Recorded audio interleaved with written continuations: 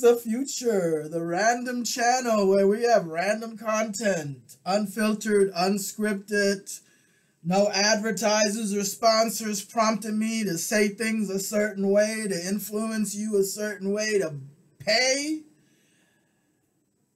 I'm not asking any monies. I'm not asking you to buy anything, pay for anything, donate to me, nothing like that. At least not on this channel.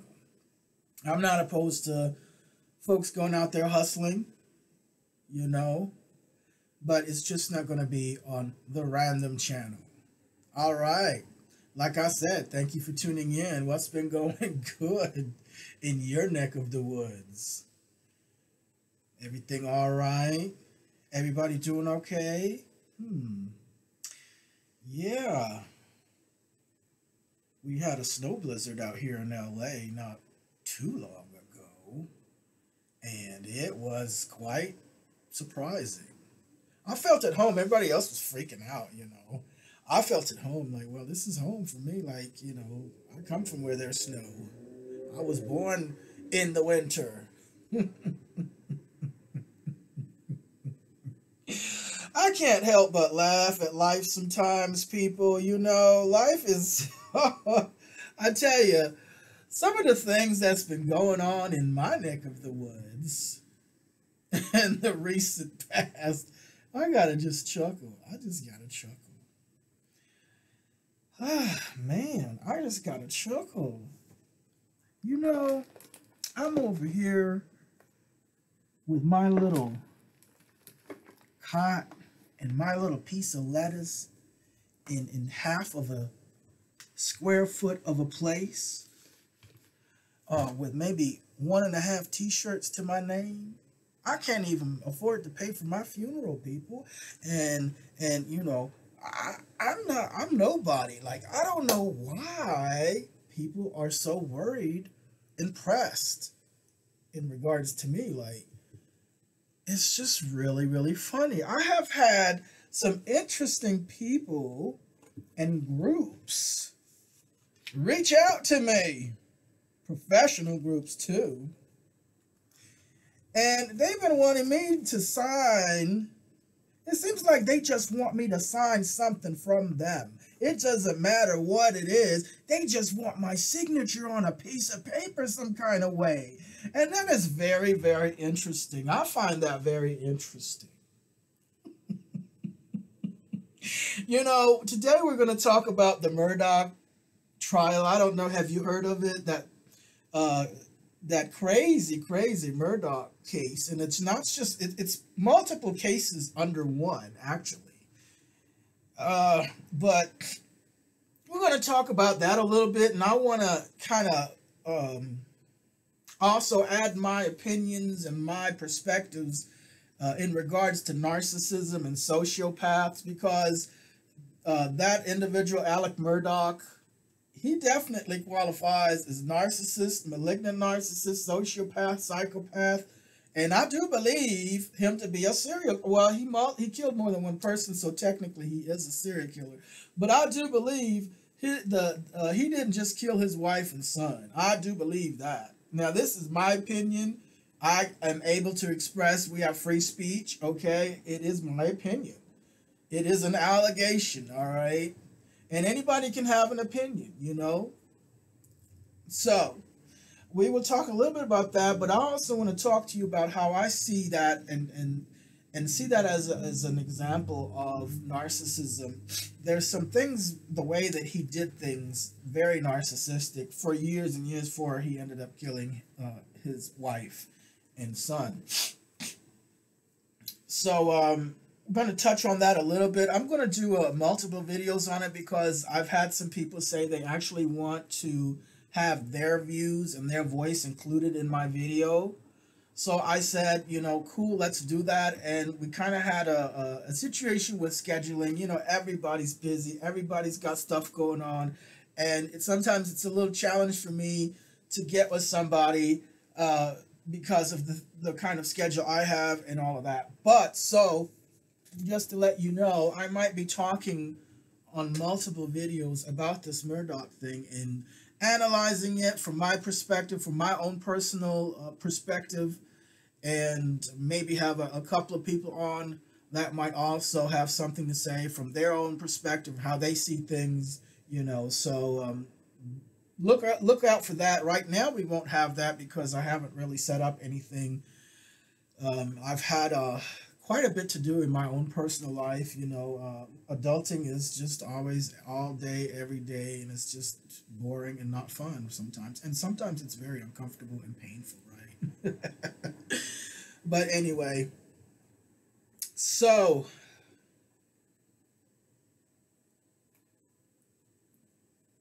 I'm about to sit back, chill back, folks. Let's chill back. Get your beverages ready. Get your snacks ready. Get your joints, your flour, your buds, your shatter, whatever else, your microdoses. Get it all ready because we're going to talk about a couple of things that I think are pretty crucial.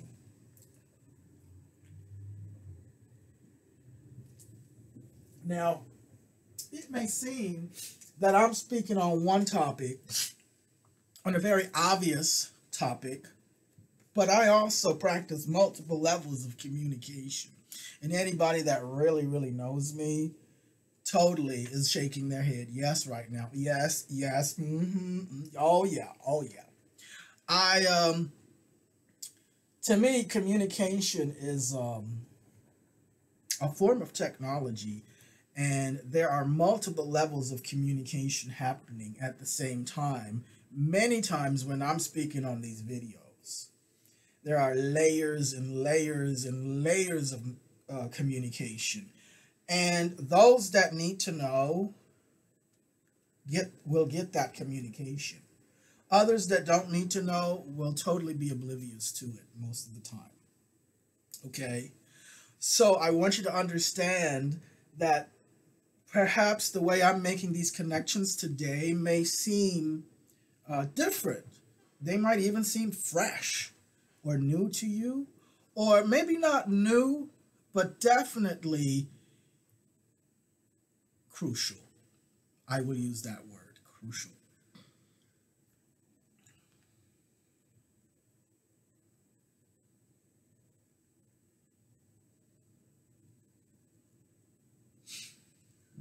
Excuse me.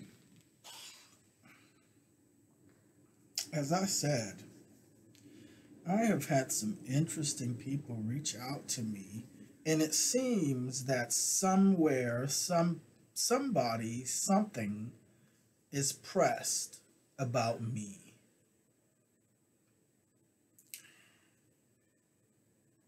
And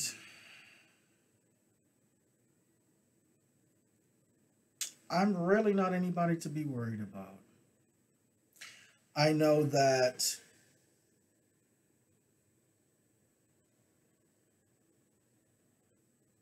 I have spoken out about certain things in the past that needed to be brought to the light of day.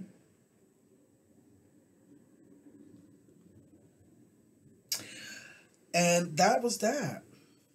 You know, justice doesn't always come swiftly.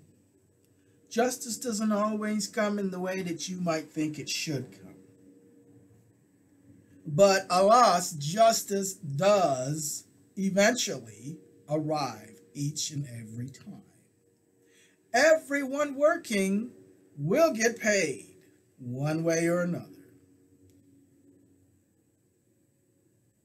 No one escapes that because that is what we are. We each have a silent sentry within us. Some people call it karma, some people say you reap what you sow. It's a, a transaction, and no one escapes it. If you exist, you are a walking transaction between what you do and live and think and feel and your outside, quote unquote, outside environment. Because in reality, there really is no out there or in there, right? Physics has already explained all that. Time and space are a mental construct that we've constructed for consensus reality. Blah, blah, blah, blah, blah. Okay? So, just like physically, again, you can look this up, it's science. Physically, the further out you go, eventually, you go out far enough out, you will end up coming back from the opposite end. You will come full circle. So, scientists and many others have asked is the universe, is the cosmos finite? Is it finite or is it infinite? Well, the answer is it doesn't matter. What? Tell you how trippy that is, right? You gotta smoke a, a blunt or take a microdose to get this one. Or maybe even a full on dose in a safe and responsible setting. Anyway, back to this. Uh, it doesn't matter if the universe is finite or infinite because the way the universe it coils in on, in on itself like a snail shell, a nautilus. So that's why I told you when you go out far enough, out further out far enough, whatever that number is, it has to be astronomical, you know, miles or kilometers. It, it, it has to be a number. A never, it could possibly be a, a number that never ends.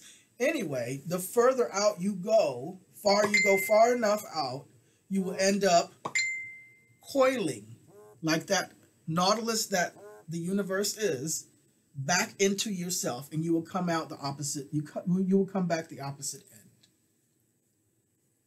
so that is not only how the universe and reality works physically but also mentally emotionally and spiritually in all ways. What you put out comes back to you. You reap what you sow, karma.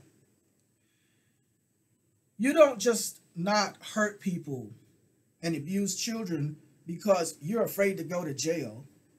No. When you fully understand that principle, that reality, when you are set in reality and not delusional, running away from reality, like many of these narcissists and these sociopaths and these malignant narcs are, when you are steeped in reality, now you understand why that is wrong. And you don't do it because you know you are going to be in pain and hurt. It's going to come back to you in some kind of way. And it may not come from that person that you hurt. That person that you hurt may have probably moved on and is not even thinking about you anymore, despite the horrific stuff you might have done to that person. That person has actually healed to the point where they have a good quality, happy life despite you. Despite you and what you've done to them. And there are millions of stories out there. People who might have gotten mugged, women that were violated, women that were almost killed, uh, soldiers, you know, uh, emergency workers, police officers, uh, counselors, young mothers, a school aged kid. There are so many stories of people who have not only overcome and survived, but they have thrived the adversity, the horrific adversity, the horrific unfairness that life will throw at you sometimes. Right? But you have people out there that have gotten away with things, so it seems. So it seems. They've gotten away with things, with doing horrible things. Things they didn't think would hit the day of light, the light of day. And these people seem to have no peace. I just want to put it out there. it ain't my fault. Did I do that? It ain't my fault. Did I do that? It ain't my fault. It's not my fault. It is not my fault that Alex Murdaugh has gotten convicted of double murder and, and, and is looking to get sued and convicted of other crimes, including drug running and, and fraud or whatever, allegedly, okay, allegedly, before some attorney starts licking their lips and calling me about, oh, you said this and this about my client. Allegedly. Okay, look it up. Google that for me. it's not my fault. Matter of fact, it's out of my hands. There's nothing I'm doing. I haven't done anything. Not me you got to worry about. It ain't me you got to worry about. Because I'm past it. I'm over it.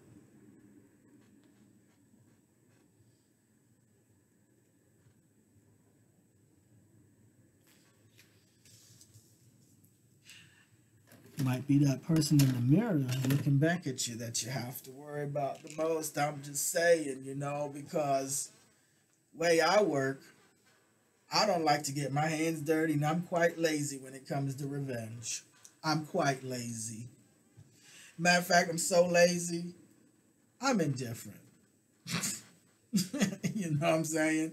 Because at least in my life experience, those people that had done some horrific things to me, uh, they end up doing their own self in all all by their lonesome self. I mean, it's just I have sat back and watched people just do the just oh my god, oh my god, and you know, those that know me, that I've shared a, a few of those things and who have actually witnessed themselves you know, right there on the right side along with me, know what I'm talking about.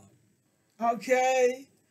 I'm talking about batshit crazy. These people went batshit, and maybe they were already crazy. They just held it down a little better over the years. It just was too too hard to keep that batshitness down, and it just bubbled to the surface like a crazy batshit person they are. I'm talking about people thinking that they could run for mayor uh, people that had that ran three MLM jobs and babysat, you know, their neighbors' kids and, and, and their little own kids in a trailer, talking about running their own business. And so, because they were single mothers and running their own quote unquote business, you know, which was Avon and Rodan Fields, that, you know, that fake MLM makeup thing or whatever it is, that they have these face lotions for women that's like eating up their skin. And they found out it was just like corrosive, like acid and stuff. Yeah. So, anyway, she was talking about how she was qualified. They asked her on international television, okay? She had her sights for governor of her home state. Are you kidding me? Anyway, she didn't even have a degree. She barely finished uh, high school. Started have you know what? She was uh she got married 10 minutes after she got her high school diploma. She was married and pregnant 10 minutes immediately after. She started getting married and having babies right out of high school. I'm just like, good lord, girl, don't you want to, you know, get a little bit more education, no, get them babies going, you know. Hey, anyway, so years later, when nobody paid her any mind and she had burned so many bridges, she was suing every one of her employers for uh, sexual harassment and sexual discrimination. And it was always something sexual with the lawsuit, which was already like, what? What's going on? And then there was allegations out there, okay? Somebody out there was talking about some real sordid stuff. Anyway, um, let me let me tell you, she really was just one of these Jerry Springer, you know what I'm saying, um, types, and she thought she was qualified to run for mayor. She posted talking about, uh, I'm I feel cute, think I'll run for mayor, and you know people thought it was a joke. No, she was for real. She really ran for mayor. Like I guess she thought she was cute enough to run for mayor.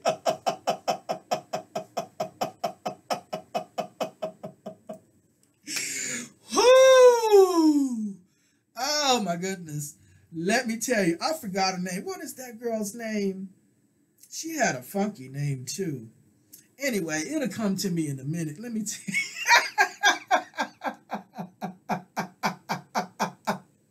you. she was a whole Jehovah Witness. Can you imagine that? Now you know those Jehovah Witnesses, you can't do nothing. You can't even breathe. Like they can't celebrate Christmas. They don't celebrate birthday. You know, they don't worship Jesus. And she's over there in the South too, right? Like it's all Jesus. They don't know Jehovah, whoever that's supposed to be. They don't know about who who that, who that, who that. You know, that's but she was not talking about Jesus now. And see, they were already looking at those church people were just shaking their head. Mm-mm, you're gonna have to say Jesus, baby. You better say his name. anyway, so when they asked her what her qualifications for running for mayor was on television, she said, Well, first of all, I am a single mother and all her kids are grown with babies on their own. You hear me? I'm a single mother with three kids. and I've owned and ran three different business. I've worked three jobs and businesses.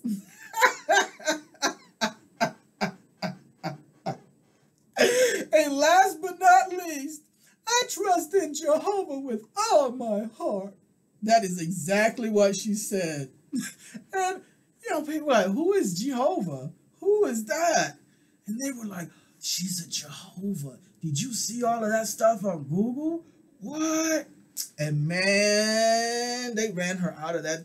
Of course, she lost, right? She had like 77 votes. She probably stole them from somebody because she swore somebody stole her votes and she'll never believe she only got 77 votes. And um, she, you know, she had uh, 360 votes. So she said to actually qualify to run, how can that be that she had less votes, actual votes, than the ones that helped her qualify, the ones that helped her qualify.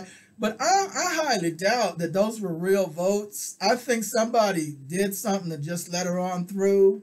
You know what I'm saying? I think she might have, you know what I'm saying? She has that reputation. I'm telling you, she has a reputation. She's out there. She is out there. And supposedly, she was, you know, she was dogging some transgender person too. Yes, and when that was in the mix, man, it was a lot of people. What? And you know they were Googling the hell out of her. I'm telling you. Yeah, anyway, she's one of them narky people too because she, you know, shoot, they say she failed her children. You know what I'm saying?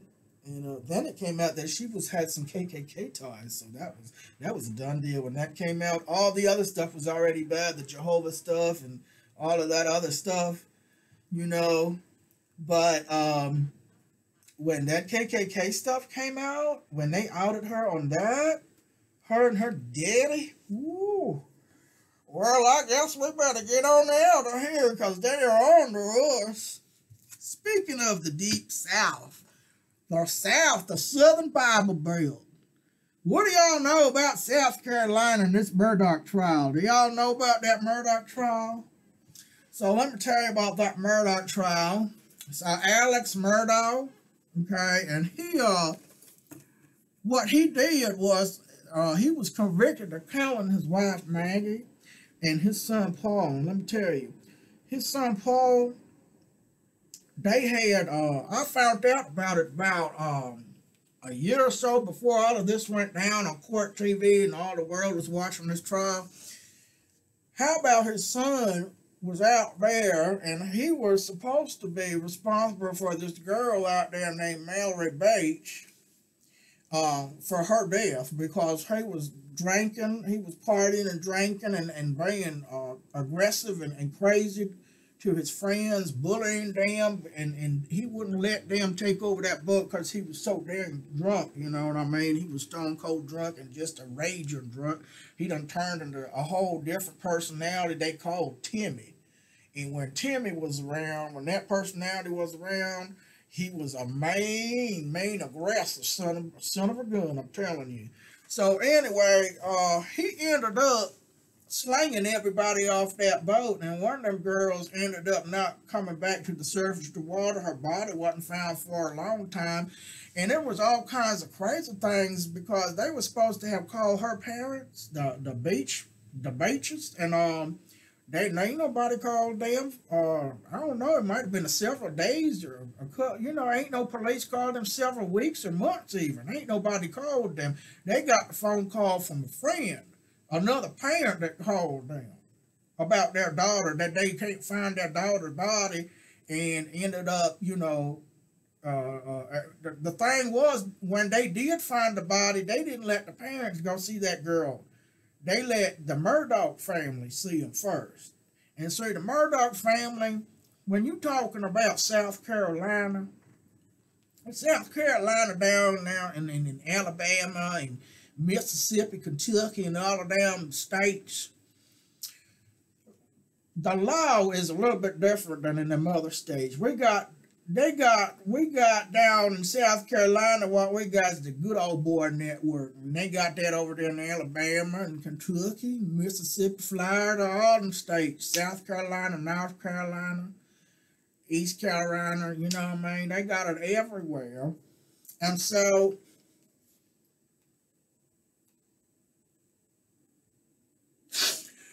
for a long time, the Murdaugh family was the law because they had generations of prosecutors. I'm talking about their great grandpa Paul, Paul Paul, and great grandpa Paul. All them was prosecutors in their area there, and they was the law. They had everybody under their power. They was rich, and they was powerful and influential generations of prosecutors in the same family. You know, I'm talking about they had Paw Paw's picture hanging on the courtroom walls when you walk in in the courtroom. They had big money, a lot of power, and they was the law for a long time. So if you had a problem with a Murdaugh, you best to get on out of town because you just might get killed. You might just end up in a ditch somewhere and don't nobody know what happened to you. That's how it was. That's how it was for a long time. And you know, ain't nobody ever thought that anything would change because you're talking about over a hundred years of prosecutors in the in the law there. Like I told you, they was the law. Okay, so when you got somebody like Paul Murdaugh, which is this man's son that he done killed, well, before he got killed, that boy was responsible. You know, he was being just a foolish, a You know, ain't nobody gonna make him responsible if he's out here drinking and he happened to kill a girl that was on that boat with him. You know, by accident, which I'm I personally don't know if it's really an accident. I'm still, uh, you know, I'm still kind of raising my eye.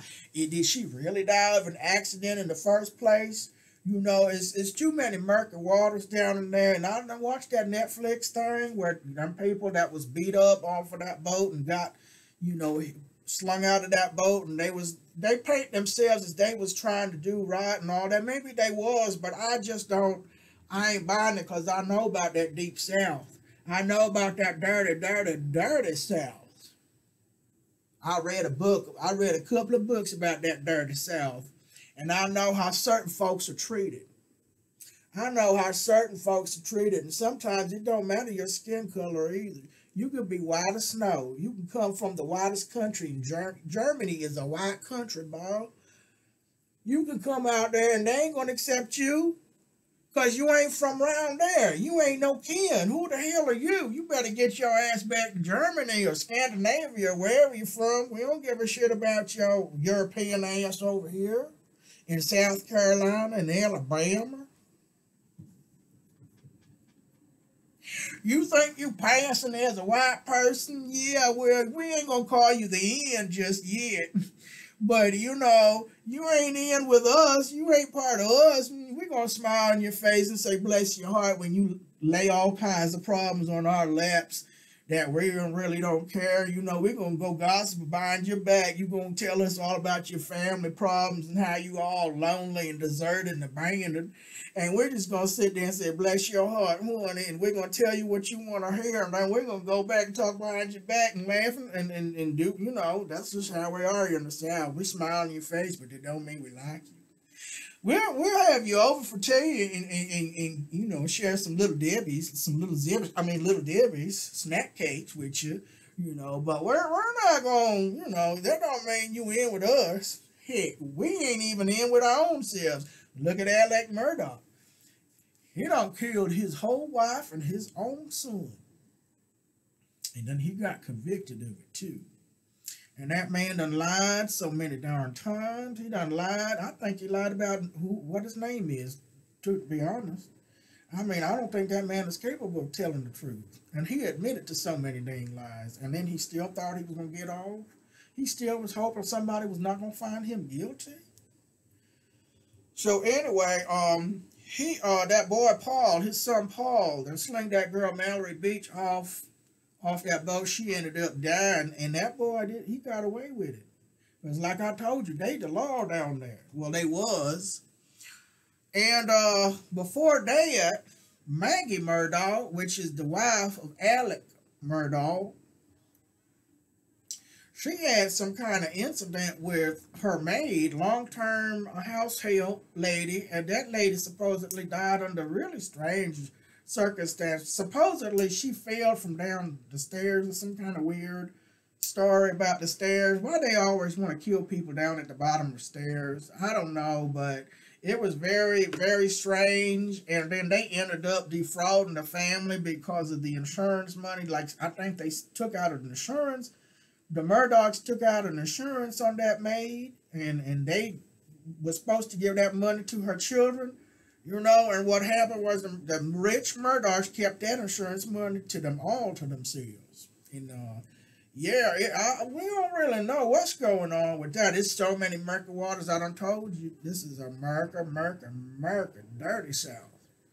Them good old boy networks, you know. So they, uh, you know, the rumors around town was that Maggie Murdaugh was the one that killed that maid. She knew too much. She done found some drugs underneath the bed, taped into a Ziploc bag, allegedly, or something like that, and some other things. And so they ended up, they took a life insurance out on her and killed her. So they didn't just want to kill her, but they want to make some money off that killing.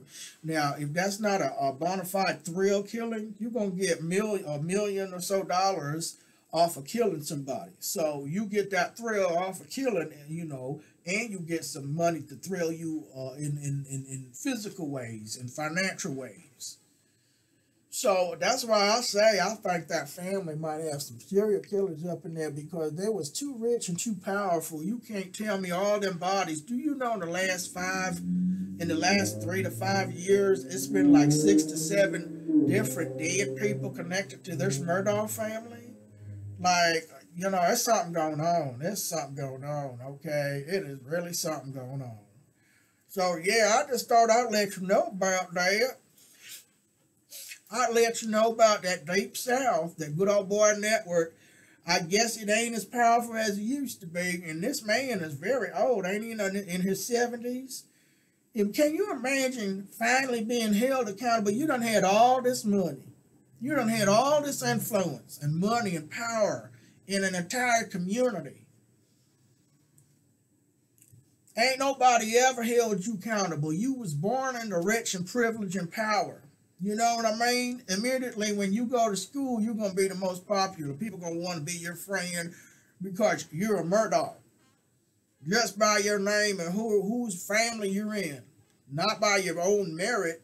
You know, you're going to go to Harvard and Yale or whatever big law school. You ain't got to go out there and work and slave to pay your tuition. You good. All you got to do is let your friend do your schoolwork like Buster did. Buster is another one. He is uh, Alec Murdaugh's son. Alec Murdaugh is the one that got convicted of killing his wife and son. But he didn't kill the other one, Buster. Because Buster, it seems, was the golden child. You know them narcissists, they got golden child. They got the golden child they love the most and the best. And then they got them other ones, scapegoats, and then the other ones that they don't like. And they you know, they do extra abusive things. I mean, they abuse that golden child too. You know, it's all about power and manipulation and control over adults that you, you know, that you're supposed to go on and let go and be an adult. But uh, these people can't be doing that. They don't let nobody be free and independent adult or not. They ain't just not to do it. And so what uh, Buster did, Buster, you know, he was supposed to be a lawyer. He's supposed to be going to law school and be become a lawyer like his daddy. Paul was kind of like a rebellious. He didn't want to do any of that. He just wanted to play around, you know, drink and goof off. So I think that's why he killed Paul too. He seemed to be a liability to that lawyer, you know. And uh, Buster, uh, they say he had a friend. He was very, very close with this man named Stephen Smith that went to uh, school with him. And you know, Buster coming from privileged family, you know, they don't ever think they got to study. I know people that come from privileged family and money, and and you know, they had maids and nannies. I ain't never had no maid or no nanny. I ain't never had nothing but my imaginary friends. Sure. Anyway, he coming from a, the Murdaugh family. He he thought, no, I don't need to do no schoolwork. You know, I just need to go and paint somebody or get get with somebody that that likes me, that's going to do it for me. And he got with this, this friend here, Stephen Smith. And Stephen Smith was doing his work for him. He was, you know, helping him study, but I think he was probably doing some of that work for Buster, you know. And it was because uh, Stephen Smith was a very outspoken uh, gay man. Okay, and I think that's a very, very, uh, I have to respect the fact that he was outspoken gay, outspoken man. He was out. He was not hiding who he was out in the deep south like that because you know you can get killed like that even today. And he, he had some balls. I got to say, whether you agree with it or not, that takes some balls balls. That takes the balls not to back away from who and what you are. Because I'm going to tell you something. Even though half the people around that I know may not be uh, uh, gay, they might be straight, but they still don't know who the hell they are. Okay? They're still trying to figure out who the hell they are. You know, so, and they're still scared to cower down to their own parents. I see people in their 50s and 60s Cowering down to their old parents and still can't be who they are. And I ain't talking about Gary or nothing like that. I'm just talking about, you know, somebody who might not want to work as as as a, a, a, a, lawyer or as a doctor because the mom or dad made them do it. They might have wanted to be a florist or a landscaper. You know, that's where their heart is. So, but because of that, they can't, because of their parents, they can't pursue it. Or somebody who can't marry somebody outside of their race. You know, an Indian doctor that's 45 and 50 years old, and he is in love with his his girlfriend of five, six, ten years. And she's a respectable lady, beautiful lady. She's a nurse and a doctor, but because his culture dictates that he can't marry outside of his race and culture. He ain't gonna marry her until they die. And his parents, they're getting close to 100 years old and they still kicking and clicking. You know, he, he can't marry the, the woman that he wants to marry because of his parents. And he is already in his 50s, okay? Still don't know who you are. Still don't know who you are. So don't tell me that this man didn't need to get that respect at least, whether you agree with it or not. I have to say, you got to respect the fact that Stephen Smith was out there not backing down from who and what he was, despite how hard it might be in the deep south of Carolina with them Murdaughs. Well, unfortunately, let me tell you, the rumor was that uh, Buster and Stephen was together together. They was not just buddies, but they was lovers okay, and um, that they were getting ready to come out of the, you know, they were getting ready to come out to the Murdaugh family about them being together. Buster was getting ready to come out to the family. That's was the rumors, okay, and that boy Stephen, he ended up lying out in the woods somewhere dead. They found his body, and he ended up lying out there in the woods. Sure did, sure did as they say in the South, sure did. So, uh, yeah, what does that tell you? Uh, there is some questions around that because I'm going to have to say they need to get the Department of Justice and the FBI and some of these LGBT advocacy groups out here behind that and find out what's what with that. Did Alex Murdaugh have something to do with that?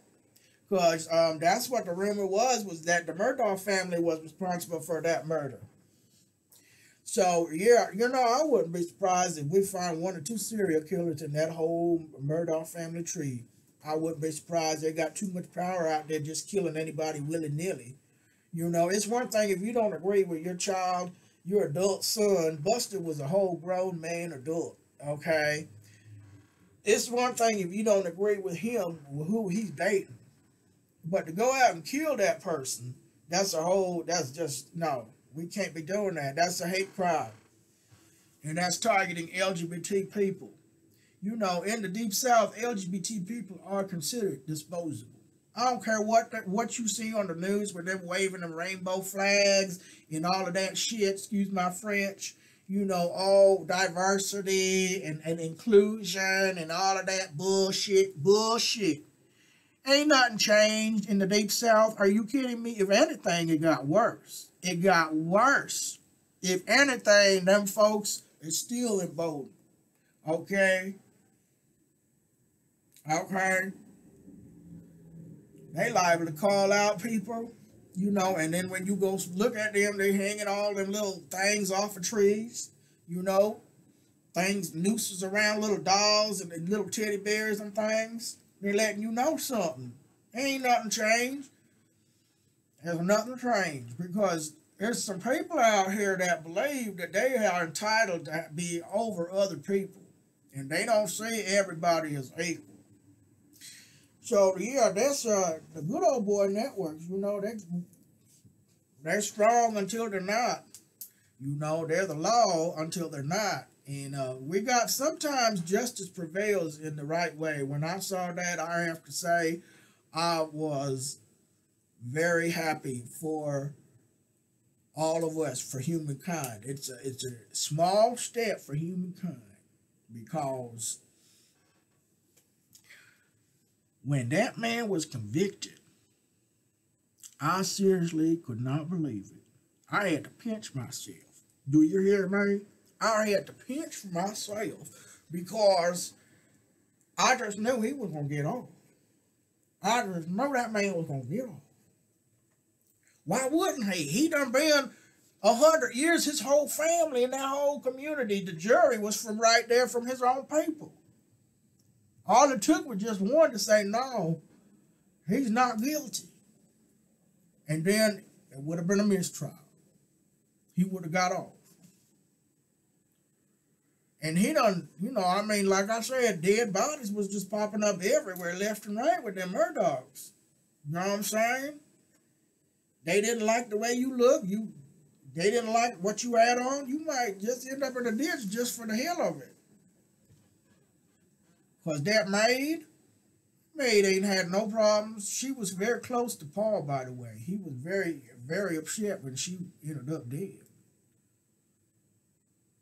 And then they're not even safe from their own family. Now that's really scary. It's one thing they killing other folks. When they start killing within the family like that, their own son and wife. No, that was too much now.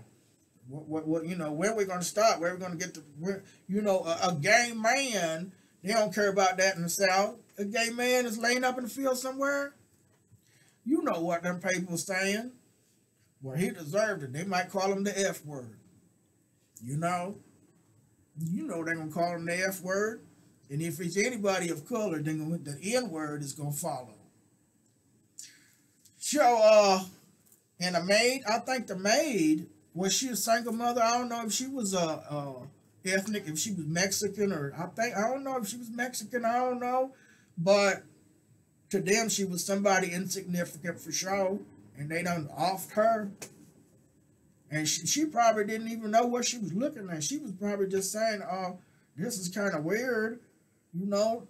Like, why, why on them pills stuck in, in the Ziploc bag underneath the bed mattress? It, it, it sure does look weird. I mean, hey. And she probably didn't even know not to say nothing. She probably didn't know because she didn't think that these people was doing all these you know, drugs and all that. I don't know. I, I wasn't there, but I one thing for sure, that man done cheated so many people in the most ruthless, disgusting ways, and he killed. I truly do believe he's responsible for more than just his wife and his son's death. I think he's responsible for Stephen Smith's death, and I think they need to get on behind that. We need to have some more media behind that uh, in regards to uh, gay hate crimes and that kind of thing, because that is definitely a gay hate crime. And if the Murdaughs are connected with that, heck, if busted and killed the man himself, he needs to be up in prison held accountable too. Whoever did it, whoever's responsible, whoever orchestrated it, because these narcissists don't, a lot of times, let me tell you something, these narcissists, they don't do hands-on. They don't do it directly. They got somebody else doing it they'll pay somebody else to go and do something, or they'll manipulate, they'll get in somebody else's mind and manipulate them to go out there and lash out at somebody else that they want to get. A lot of these narcissists, that Alec Murdaugh, he was uh, he was that kind, you know. He had uh, supposedly he wanted to make the cops think that he was getting attacked by the same people that's killed his wife and son. And then they found out that he went out there and got somebody to fake that, to fake, you know, fake attacking him. And he had to admit that. Ain't that some, that's some crap right there. That is some crap right there. But that's how them narcs work. They hide behind somebody else. They'll push that other person out there to get you so they can have plausible deniability later in case, you know, shit hits the fan and they get confronted. They can say, oh, no, I ain't got nothing to do with it. They did that all on their own. You know, that's a lot of, that's how cults work too. You know, cult organizations, they'll manipulate and brainwash their members and get them to do all kinds of horrible stuff. And sometimes it ain't just doing, sometimes it's not doing, like not going to the place where you know a child is being hurt. You know what I'm saying? There's a lot of that going on too. And um, then when the shit hits the fan, when people get arrested, when you know these people might be as old as Alec Murdaugh. they might be 60s and 70s and 80s, thinking they got away with it. And then they oh they wake up one day and the sheriff is right there at the front door with the with the handcuffs and everything, ready to take them on in, especially if they're in a state with no statute of limitations.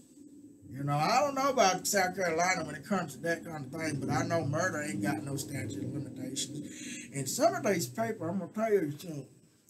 You know, you don't ever want to think that that stuff in the true crime docu series ever hits in your real life, but that's some scary ass shit sometimes what you're watching on TV, right? Well, I'm gonna tell you something. I wouldn't be surprised. I'd be shocked, but I wouldn't be surprised. Some of these people that I have uh, had the unfortunate circumstance to have been in their vicinity in years past, I wouldn't be surprised. I'd be shocked, but I wouldn't be surprised. You couldn't find out some of them people might have murdered somebody like them Murdaugh family folks did. Or did something other, other, you know, did more than what they did to me. They might have done more to some, some other people somewhere. Like I said, I wouldn't be surprised, but I'll be shocked. I sure would. But anyway, yeah, it, like I said, you this Alec Murdaugh case, this sure is something, ain't it? Well, let me say, I'm gonna take a break. I need to get me a, a couple of, of swigs of water, and I'll need to go use the the loo. And I'll shall be back, but I'm gonna play the song here till I get back, and then we're gonna talk a little bit more about it.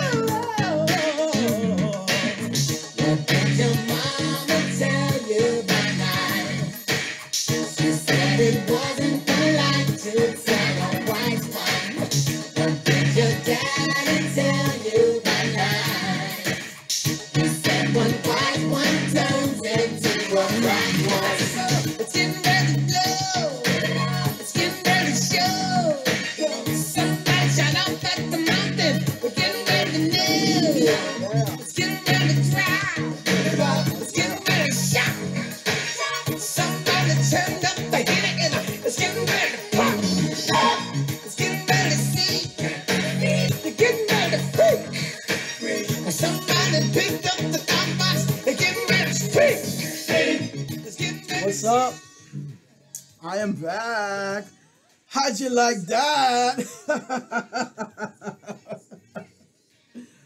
You like that? I don't know if I like that very much. I don't think I would ever want to live in any southern state. You cannot pay me enough money to live in any of these southern states. They are just no, no, thank you. I would rather go back to my own country. At least I know what is what. The murky waters down there in the deep south, you don't ever know. And someone like me, I will never survive there. I know my, my, my family and many others have gone down there, but the horror stories I hear all the time, no thank you. Anyway. Oh, Jehovah, it's not that bad down in the south, honey.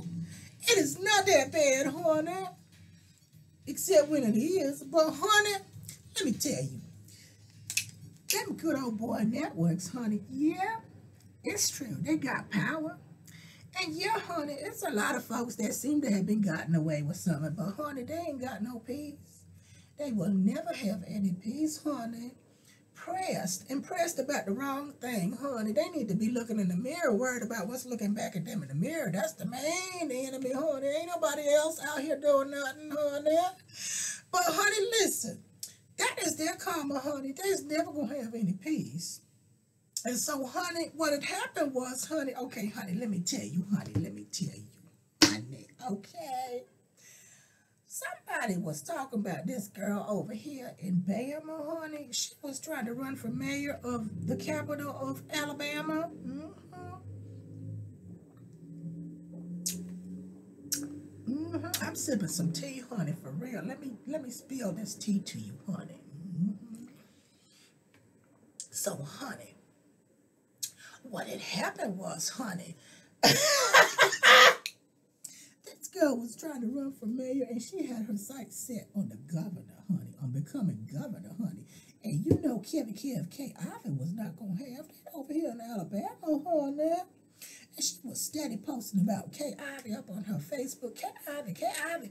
And she had some pictures with her and Kay Ivey and her little children when she was younger working for the, I don't know who she was working for, the state or the superintendent of the this school, did somebody. She was some little clerk, coffee maker out there taking out the trash. You know, she wasn't nobody out there in them offices. Anyway, she finally done got Kay Ivey. She brought her kids up in there so Kay Ivey wouldn't have told her to get on out, you know, so she was kind of like put on the spot. She put Kevin Kev K. Ivey on the spot over there after K. Ivey was allegedly drinking some vodka in that closet. She had some vodka bottles up in there drinking that hard, you know, you know, they say she loved herself some, some vodka. But honey, I don't know. Anyway, she had not on Cat Ivy's though. And she was like, Oh, my children are here. And they were so cute and little. So Cat Ivy couldn't say no. So she took a picture next to Cat Ivy. And that crazy girl loved taking pictures to, next to all kinds of people that she don't even talk to, honey. I'm telling you something wrong with that girl for real. But anyway. And then she had her autograph you know, the picture and all that. And she was steady posting that picture when she ran for mayor um, 35 years later, honey. And, you know, uh, I'm going to tell you something. She was so, so lost and confused about herself, honey. She had these big banners she was making, and she was constantly talking about K. Ivey, K. Ivey. And then all of a sudden, in the middle of her running for mayor, she didn't say nothing else about K. Ivey. You know Kevin Kev K. Ivey had to, she sent somebody over there and she got a phone call or a letter or something. K. Ivey was like, you keep my name out your mouth, okay? That's what you're going to need to do, honey. Because K. Ivey ain't know her. K. Ivey ain't never said nothing about her. She's not endorsing her. But that thing was trying to endorse. She was trying to force an endorsement from the governor. Governor, honey, can you believe that? she had to be put in her place, honey. It was so hilarious, honey. Let me tell you, she was posting. She had made herself a public figure page on Facebook, honey, and and run running for mayor, honey. And she was like, um, who who is responsible for this? poll that is going around and not including me. So they had a poll that they was texting the uh, residents of the city there, asking who they would vote for, and they had everyone listed but her. They even listed the janitor, honey, but they didn't list her. and she was so mad. She wanted to know who was responsible, who, what company was behind that. She wanted to make sure that they put her on that.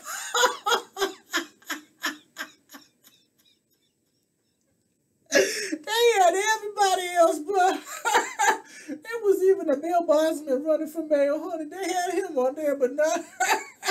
Oh, that must have hurt her little ego, honey. And then she was steady talking mess about all these churches and platforms that had invited the mayor candidates to come and debate, right? And again, everybody was invited but her, honey. And she was so mad. Finally done found her church. She forced that church to let her come on in there and, and cry about her life stories. And they was like, is this a crybaby politician? she was crying because of what people were saying about her, honey. Anyway, honey, she forced that poor church over there to let her come on in there, honey. And then, honey, what they did was she was in there. She wasn't even talking about the what she gonna do for the city. She was crying about somebody talking mess about her and her church. And that church people was like, huh? And then she was talking about Jehovah, honey. She said Jehovah, and they was like, no, baby, you gotta go. This is Jesus' country. I don't know Jehovah, honey. hmm And so they had to let her on out of that church. But yeah, honey, um, I tell you, honey, these good old boy networks, they, you know, they got different ranks. You know, different people have different. They're not all on the same level, honey. Cause it's a Kay Ivey wasn't trying to look at her and pay her no mind. She is steady trying to force poor Kay Ivey. I know Kevin Kev is getting tired of her crazy self. You know what? I, I ain't to gossip, honey, but let me tell you, honey. Let me tell you, honey. Ooh.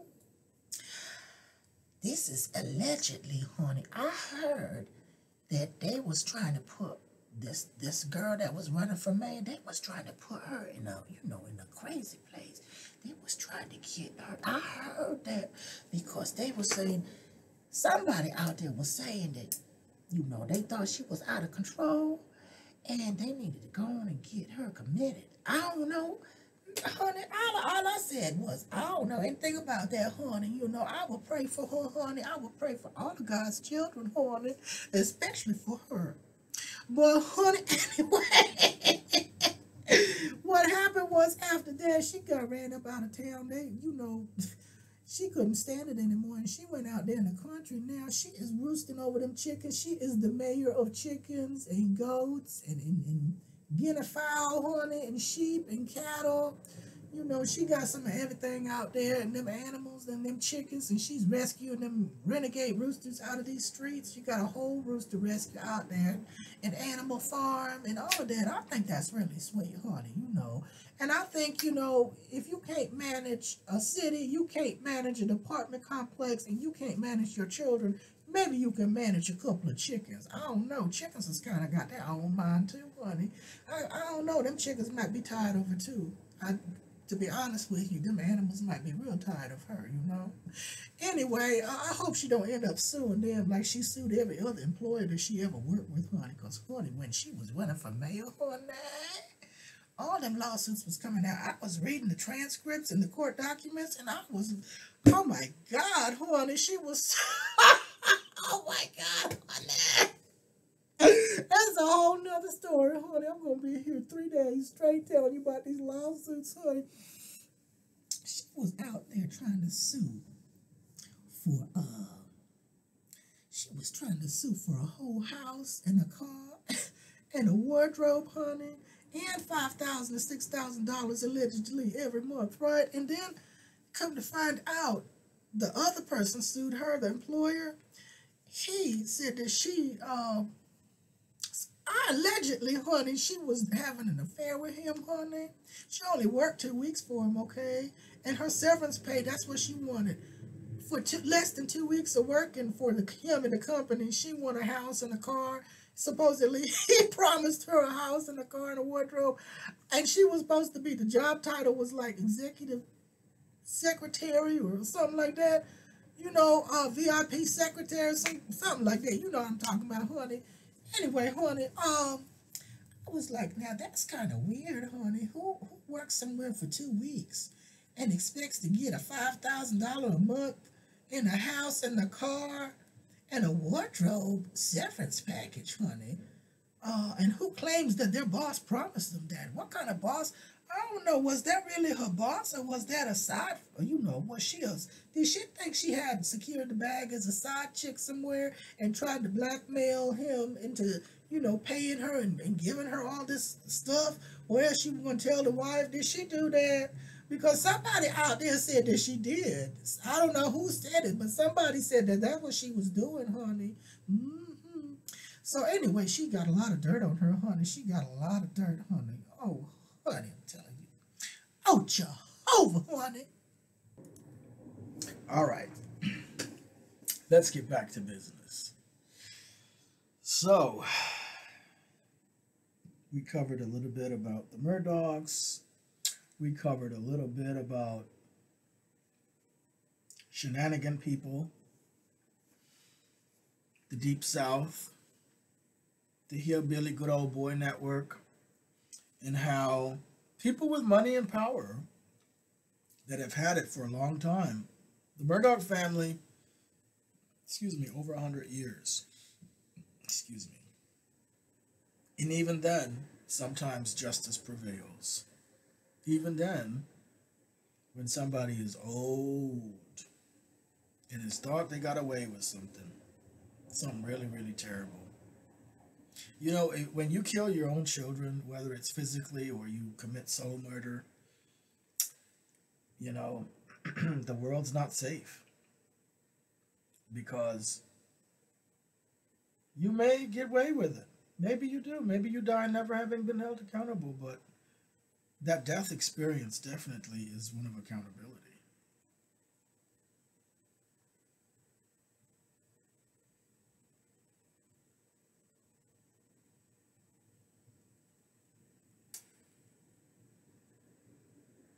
And then sometimes that person gets held accountable, like Alec Murdaugh. Finally, after all these years. After all these years. Same thing with Ghislaine Maxwell. the ironic thing is, the male counterpart that was doing, well, I can't even say most of it, but Jeffrey Epstein, he's dead. And now his accomplice, and some say the actual mastermind behind all of that trafficking of children, is Ghislaine Maxwell. And I don't find that hard to believe. Again, my last video, I talked about how society treats women differently. And there are biases against and for women. Course, we know a lot of the ones against. People still need to realize that women need to get paid the same amount as men. They have the same amount of qualifications, they need to get the same pay. We're still far behind the times. The whole world is. There's many things we're backwards on, and that's one of them. Alternatively, we also need to look at how there's a bias to let women get off with crimes, such as Ghislaine Maxwell. I truly think that she only got 28 years because she's a woman. And she was a woman of means. She had clout, power, fame, money. Again, the same story, right? And she was trafficking and, and assaulting and using the fact that she's a woman to gain the trust of little girls.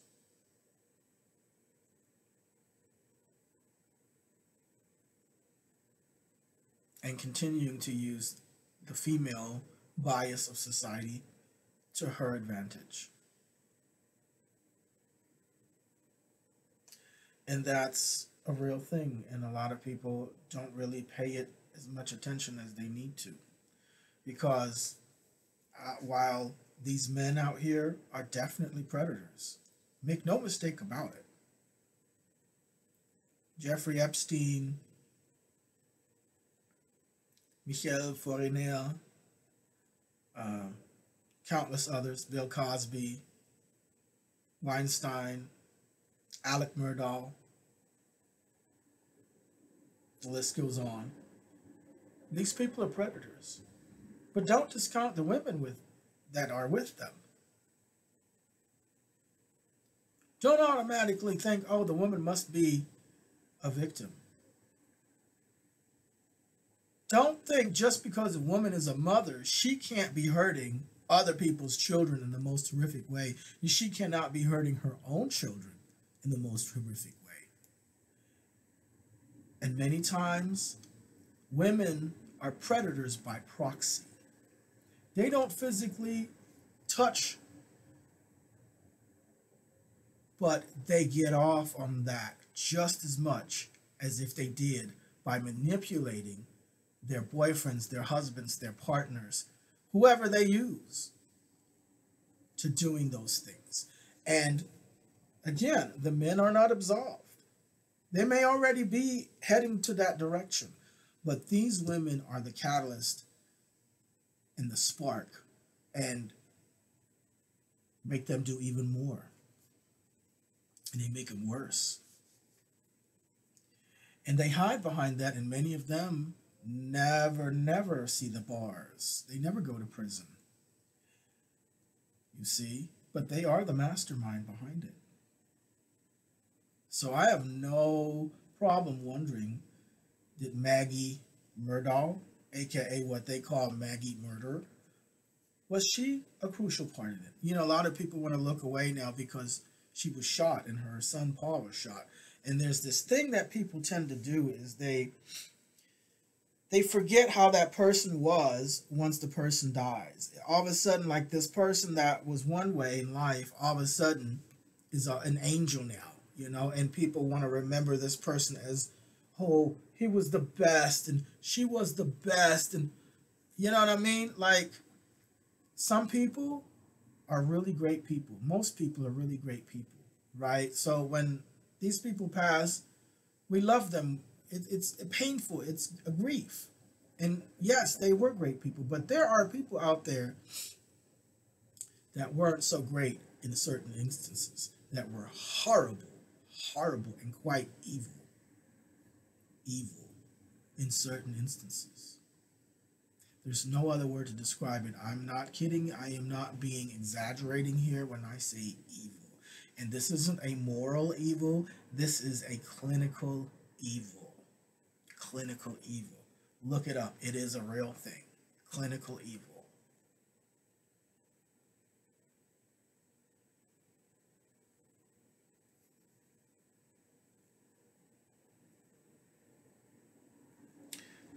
I put Alec Murdaugh in that category. He he went to the extreme of murder. But many of them don't murder. They might have murderous tendencies, many of them don't murder, at least not physically. They soul murder children, usually their own, and it is an easy crime to get away with. Matter of fact, it's not even a crime on the books. Soul murder, you can't go to jail for soul murder. So, a lot of these women who are mothers, you know, that was another thing we talked about the other day in the uh, Netflix documentary. Um,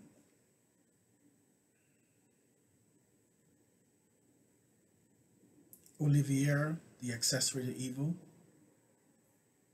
The woman, the question was, was she actually a victim of the, the, the serial killer husband? Was she a participant? Or was she actually the mastermind behind it? Yeah. Yeah. See, a lot of people never get to that third level. Could she actually be the one, the puppet master? There's a lot of women out there getting off in the most perverse way, and they're completely invisible and can't nobody touch them. And they love it. There's a lot of them out there. And they know how to perform too. They know how to put that face of soft spokenness and kindness and generosity. Ooh, you would never, ever, ever believe it. You would never believe it. And they'll get you to trust them. They'll get to know you, and they'll lay all kinds of things in confidence about themselves to you. And years might pass by, and you have no idea you're being manipulated to do X, Y, Z. You're going out on a limb for that friend. This is your friend. Such a wonderful, kind woman. And then they set you up. And they and you experience the worst and unfortunate. Real pain. And behind the scenes they're feeding. Feeding because they can no longer feed off of the pain that they made their own offspring go. That isn't there anymore. That person became an adult and saw through and left. And now it's your turn. Because they have no one else and they have an addiction. Some people have an addiction to alcohol and cigarettes. Some people have an addiction to crack cocaine. Some people have an addiction to food. Some people have addiction to gambling or porn or shopping, shopaholic. And some people have an addiction to other people's misery and pain, especially if they have a hand in making it happen or in augmenting what's already there. And they will set you up. It'll be so slick. It'll be you will not ever, ever see it coming. And you won't believe it once it's happened. There's no way, no way this person, this person's been nothing but nice and sweet to me. They've bought all these things for me. They've given me all these things. Yeah. Yes. So generous. That generosity is like a big old spider web. And the power of reciprocation, even if you know what they're doing, if you accept that, they got you now. And it's going to be real hard to resist the manipulation and the influence because this person has done something nice for you. You like this person. They've shown you nothing but kindness and wonderfulness. Whatever else somebody else has to say about them, that's wrong. No way. No way. Totally a lie. And then they find out one day that their most personal stuff is out there, and the only person that would have known to tell it out there was that Mary friend. The most embarrassing thing, most horrible, embarrassing family secret. Hmm.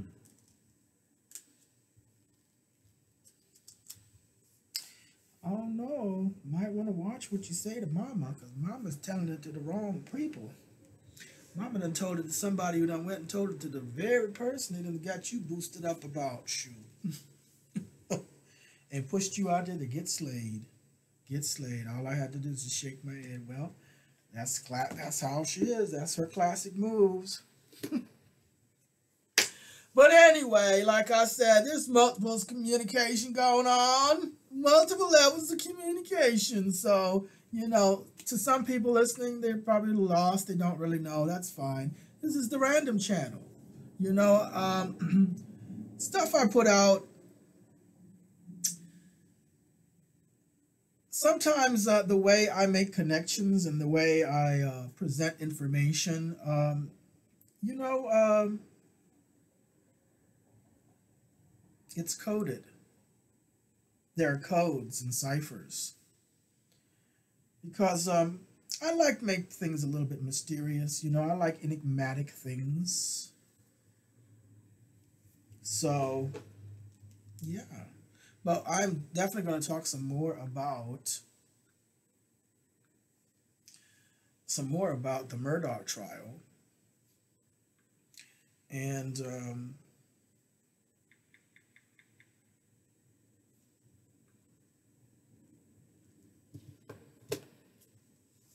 maybe have a, a couple of people's thoughts on it too.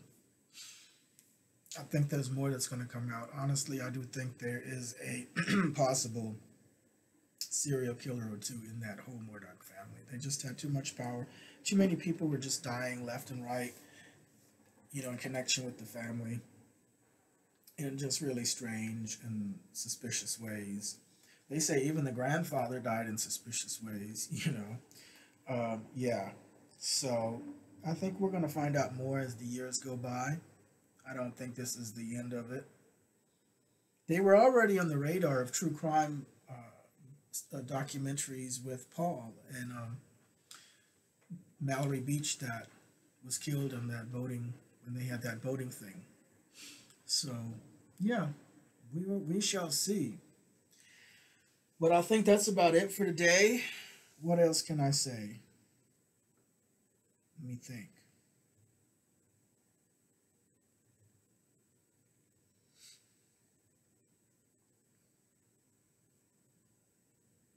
Hmm.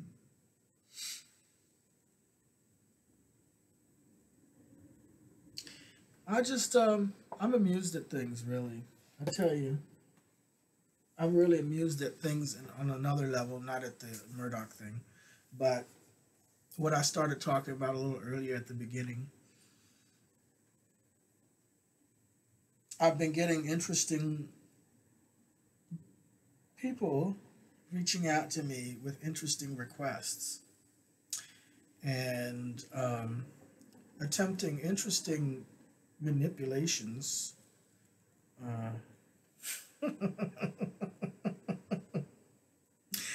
you know, it's like, uh, really? This is so classic. This is so classic and reminiscent of hillbilly. It smells hillbilly. And um, it seems that somebody somewhere is really pressed and worried. They don't have any peace. And, um, you know, it's really too bad on them. My work is already done. My work was completed years ago. And um, I've completed that and I've moved on. I'm over it. So, um, no reason to be worried about me. Little old me. Honestly, you know, I tell people all the time, I don't have anything going on. I ain't got no money. I don't, you know, I don't have anything. I'm nobody. I'm nobody special. I don't know anything. I'm not doing anything. I don't, you know, I'm just here. I just exist. And that's the truth. It's minding my own business.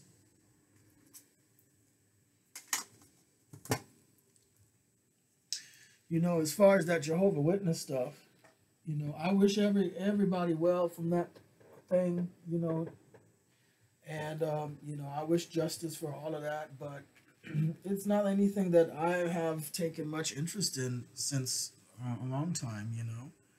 Every once in a while somebody will reach out to me and tell me xyz oh this is this is going on and it's like okay cool you know a, a- step ahead a little further advancement for for that.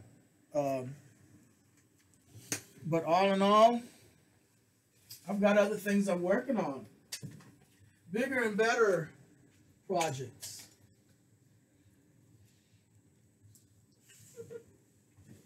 I tell you you can't you can't do anything with somebody having a problem with you. If you're doing good if you're healing you're keeping to yourself you're minding your business somebody out there is worried. You're too quiet. They're worried for real if you're out there doing something somebody has a problem. You're out there doing something. They don't like that. Do you know I've been accused of putting witchcraft on somebody to the point where they physically died?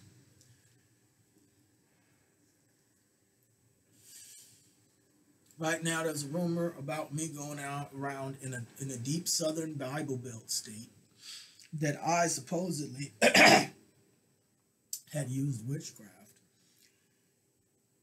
to kill one of the abusers that abused me as a as a child.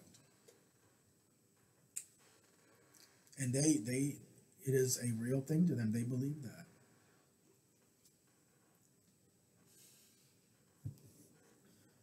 I tell you, people give me way too much power.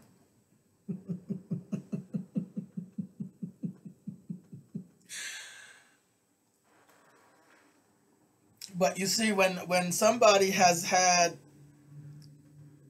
the idea of escaping physical bars of justice, you see, a lot of times they might not be behind bars, but maybe it would have been good for them to be behind bars because once you're in it, you know it's over. It's not looming over your head. You know, you're already behind bars. And there's a piece to that. There's an ironic piece to that. A lot of offenders will tell you that they were glad when they finally got arrested because now it's over. Now they can stop running. Now it's over and they can have some peace because it's already done. You see? And that's the thing when certain people live in states where there's no statute of limitations. You know, tomorrow could be that day. Tonight could be that day. I mean, does the sheriff only work eight to five? Does the police only work eight to five? You know, tomorrow could be that day. Every time that person wakes up, they wonder, could today be that day? Could be. Could end up like Ghislaine Maxwell, where the man is dead and the woman is gone and in there. But hey, I, I, you know, out of my hands, out of my hands. But no, I, I wouldn't do that. Matter of fact, I'm not an expert on witchcraft. I don't know anything about a whole lot of things. You know, there's a whole lot of things I don't know about. So there's a lot of things I don't know how to do, and you know, I wouldn't even bother trying to figure out how to do. Okay, and that's one of the things I wouldn't use witchcraft or magic or anything like that to do any harm to anyone. I don't care how much they might deserve it. I wouldn't do it. Because what you put out there, you're going to get back, especially when you're dealing with stuff like that. You know, you would have to have um, you would have to have a mental problem to go out there and do black magic like that. But now, you know, I think when people know they've done something really bad and someone has seen through them, they're always paranoid um, of getting found out by the whole world. And it's harder to keep that mask going because at least one person has seen through it, you know. So then there's that question who else might be seeing through it? And, um, you know, with that comes a lot of paranoia too, you know. And, um, folks, handle your business. Don't bother me. You know, I mean, I'm minding my own business. It's been years and years. I'm quiet. I got my own thing. I'm not even, ain't, nobody's checking for you. Go on now, go. Shoot, shoot, shoot, shoot. Damn. Do I need to really do something to like banish, banish again? Because come on now, shoot. Fuck out of my face. Okay? I'm nobody you have to worry about. Nobody. Nobody, baby. On, on, on and on, on. On, on, on and on, on. Nobody, baby.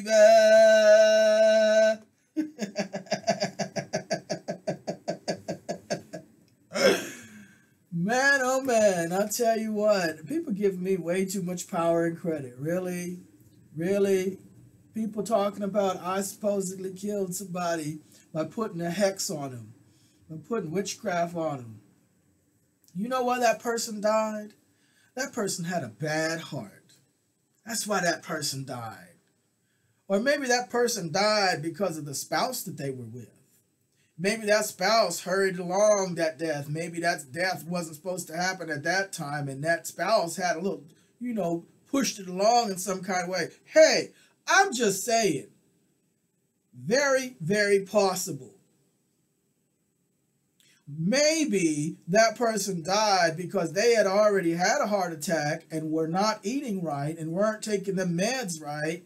You know what I mean? Maybe that's why that person died. Maybe that person had a bad heart because they did some bad shit. And you know, hey, you're not going to, you can fool every, you can fool the whole entire world.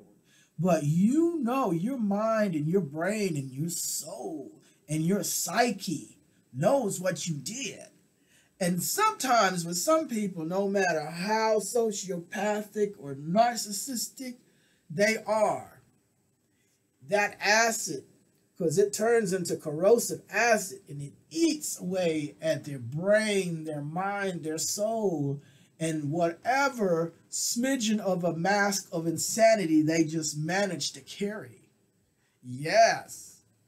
Yeah, I'm just saying. Hey, maybe I'm wrong. You know, I'm probably wrong. I smoked a, a thing over here. I smoked some cannabis. You know, I'm just tripping. I don't know anything. I don't know too much. I don't know too much. Anyway, yeah, okay, guys. I appreciate your time. I appreciate you checking in. You know, this is one of those random funky videos today. Like I said, multiple levels of communication. Hmm. Who that? Who that? Okay, you know what? I just had a phone call and I have to say I'm going to I'm going to I was about to turn this off and finish this, but I've got a couple more things to say. Okay. First of all, how are you going to tell somebody to come out here and approach me with some straight bullshit. By the way, I'm going to start cursing. I'm going to start roasting. So if you're not into that, you might want to turn this video off. All right, so you've been warned. Here we go. How I just I just have to shake my head at the straight up fuckery. Really, people, really? These trolls, these nasty narc trolls, they just don't have anything else to do. It is just a pathetic motherfucking thing when you have to keep at me. And somebody's out there paying money to people to try.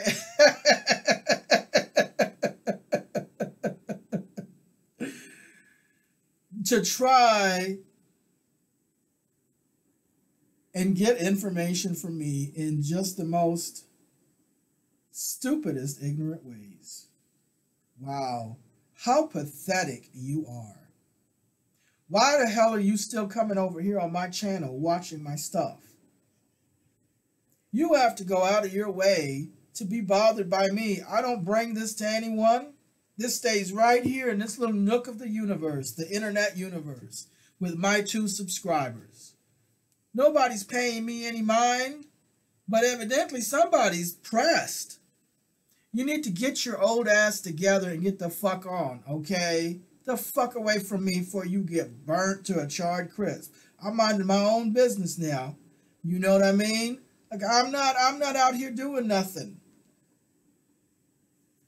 So whatever issues you have, keep that shit to yourself you know, learn to have boundaries and work it out on your own. Aren't you a grown person? You older than me. Old ass hag. And you think you're, you're fooling the world by pushing people out there to do your dirty work? Bitch, we know it's you behind it. We know it's your old raggedy fucking butter busted can of biscuit looking ass. Bitch, you want to shame me and body shame me for being transgender when your body looks like a fucking cancerous growth. Okay? You fat ass glutton. How you gonna body shame transgender people and your body's fucked up from the floor up? The fuck out of here. And then you wanna pretend like you're supportive, but then behind people's back, you know, it's a whole different story trying to set them up in the worst way. Bitch, you got your karma, bitch. That's what you're living, and you hate it, don't you? Your karma is eating you alive and nobody cares. Nobody gives a fuck. and you can't handle it. You can't handle the predicament that you're in. I'm going to put it nicely because it's way more than a predicament. You can't handle where you're at in life and what life is giving you back. Well, bitch, nobody else wants to be bothered with you. Nobody gives a fuck. I don't give a shit what your genetics and DNA is. Don't give two flying fucks. Okay? you hate that I'm doing good. You can't stand it that despite everything you've done and tried, I'm doing good. You hate that. And now you ran out of supply. Well, bitch, you better keep back for real, because you're going to get it, and not the way that you might think. I'll bring that kryptonite. I'll, I'll up that kryptonite so good, bitch, you will be so damn dry. You will be dried out. You'll be a walking zombie, aren't you already? A walking zombie. Your own parents didn't want you, and your own offspring didn't want you. That is the reality of your life. Your own parents didn't want you, and your own offspring didn't want you. That is the reality of your life.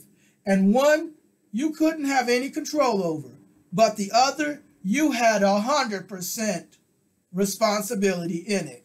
You made that happen. You worked hard for years and years and years to make that happen. And you are getting paid. That's it. Yes, it's okay, baby. you okay, baby? You all right?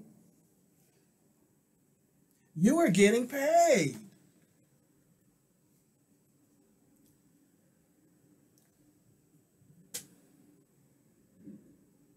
And nobody cares. No one cares. Boring. Boring, boring, boring. Really, it's boring. Boring. But I'm glad I got that phone call. Because, like I said, I put my ear to the ground on Twitter. I said it. I said I put my ear to the ground. And I got a phone call with some extra information. And now we've put the, the dots together. We've connected it. Hmm. Well, so uh, yeah, that was my little roast at the end here. I really don't care. You know, I, I just uh, I don't have any roasting like that. You know, where I'm going to be roasting for hours and hours. Honestly, that's all I got to say. Stuff I've said for so many years already. So, you know. I just gotta laugh. the irony of it all. The irony of it all.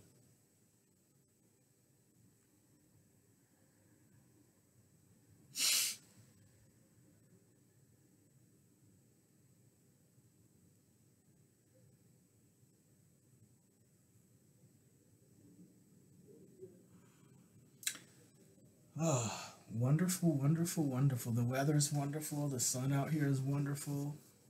So, yeah, I think that's about it. That's about it.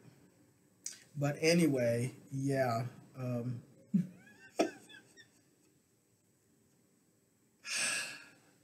uh, certain people, I'm going to give you a call. You know who you are. You're texting me right now. Mm-hmm. Mm-hmm. Makes total sense, don't it? Makes a ton of sense, don't it? You know who you are. Mm-hmm. Hmm. Hmm. Yep, yep, yep. All right then. Well, we shall talk. I will make another video talking more about this. This whole thing. This whole thing of narcissism and the Murdaugh, as an example, the Murdaugh case. And um, maybe some more uh, coded messages here and there. Don't you like codes and stuff and ciphers? I love a, a good mystery. I love a good mystery. Anyway, that's it, folks. Have a good one. And you know, I know I've played this song a zillion times before. Well, maybe I'll play another song. Let's see.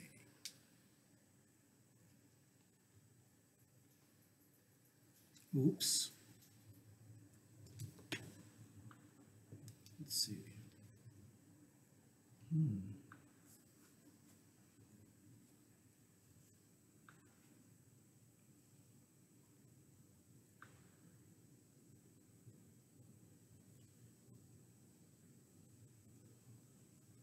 Did that work?